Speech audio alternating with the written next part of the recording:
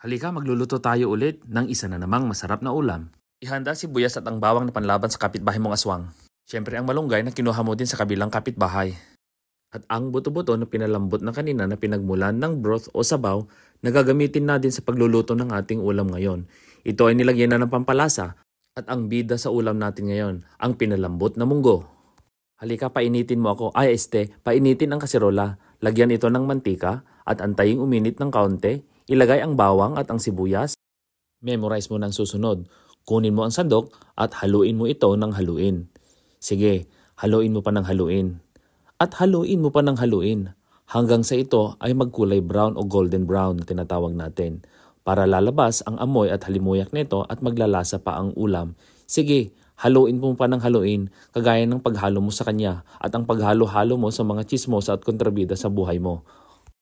At kung sino pa ang gusto mong ihalo dyan, sige, ihalo mo na silang lahat dyan para ang ulam mo ay maglalasang masarap. Huwag kakalimutan ilagay ang karne na pinalambot kung saan ito ay magdadagdag sa lasa ng ating ulam ngayon.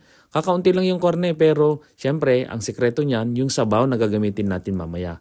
At huwag kakalimutan, haluin mo ito ng haluin. Huwag kakalimutan ngumitin na parang ikaw ay tagumpay kagabi.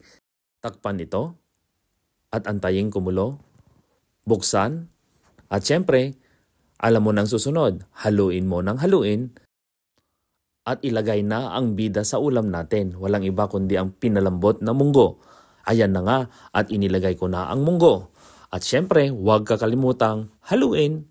Haluin ito ng haluin para magkaisa ang lasa ng mga kontrabida at chismosa sa loob ng iyong kaserola.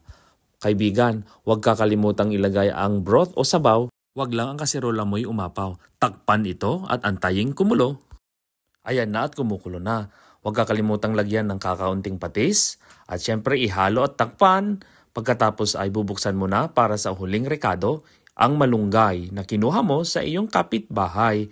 Huwag kalimutan na kunin ang sandok at ihalo mo ng ihalo ang malunggay kasama ang mga chismos at kontrabida sa loob ng iyong kaserola. Mga kaibigan, tandaan ito ay joke lamang para tayo'y maging masaya sa araw na ito. Ang huling bida sa ating ulam ay ang chicharon. Siyempre, yung malilid ang inilagay ko kasi mahirap kagatin yung mga malalaki. Alam mo na, yung ngipin natin kailangan alagaan natin.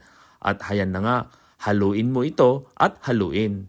Takpan at ihanda na ang iyong lagayan. Dapat malinis ang iyong lagayan. Ito na nga ang unang sandok ng munggo with malunggay na magiging ulam natin sa araw na ito.